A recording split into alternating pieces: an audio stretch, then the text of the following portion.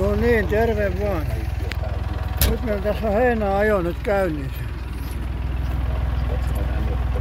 Paali kerrallaan. Ja se on tässä niin lyhyt tää ajomatka. Niin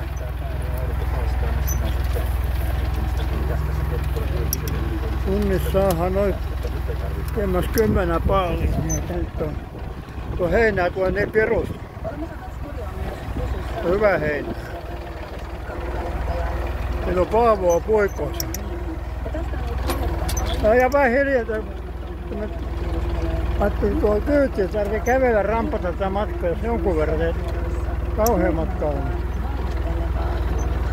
Kun nyt tulisi mitään ukkospuuroja, niin tämä ihan lupavallista. Hirvittävä määrä heinää, jotka on nyt lannotettu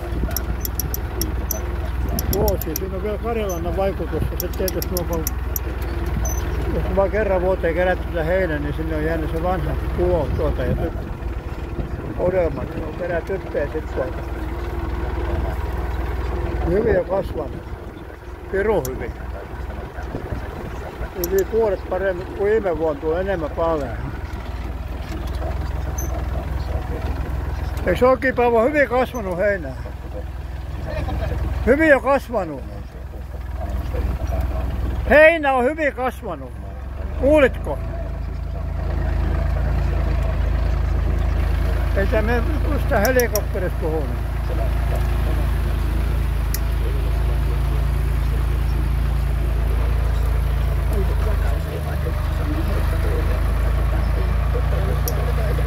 Joo, saadaan nää tästä jo. tähän auton paikkaan. Siinä on hyvä, joo. Mit? No voi helvetti. Täytyy käydä hakemassa tuolta. Tops, me on hel... Älä, älä helvetissä. Me on pois täältä. Jos tarvii laskea, kato. Voit ottaa vähän taakse, jos haluat vielä.